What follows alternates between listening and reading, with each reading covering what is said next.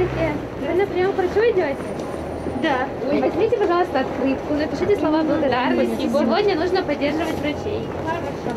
Начать день с добрых дел сегодня предлагают пациентам и работникам медсанчасти и АПО. На открытках рисунки иркутских школьников. Для них врачи – настоящие герои, на плечах которых здоровье всей планеты. Свои работы прислали больше 300 детей. Открытки раздают участники акции «Мы вместе». Когда дети смотрят а, на своих родителей, что отцы каждый день после работы, иногда там в пересменку помогают, подключаются, возят врачей. Естественно, они а, это вот момент воспитания. Дети тоже по мере своих возможностей ну, просто захотели помочь тем, чем они могут. А в таком возрасте они могут, ну вот, нарисовать картинки. Присоединились к акции и иркутские баскетболисты. Каждый день спортсмены привозят продукты одиноким пенсионерам. Валентине Ивановне Володиной помочь по хозяйству некому. И кроме доставки продуктов, женщина попросила наколоть дров. Баскетболисты обещали вернуться всей командой. После тренировок сразу сюда, как бы сказали, три заявки. Вот мы поехали. Я думаю, все должны помогать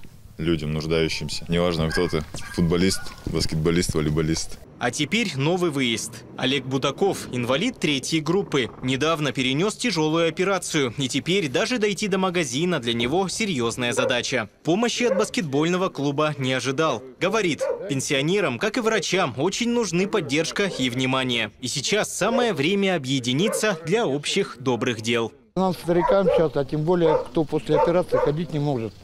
И у- ну, это вообще здорово, то, что помогает. Если сам не можешь ходить хоть так, я не ожидал такого. Это здорово, спасибо вам. Это запомните надолго. Захар Семенов, Константин Синицын, АИС ТВ.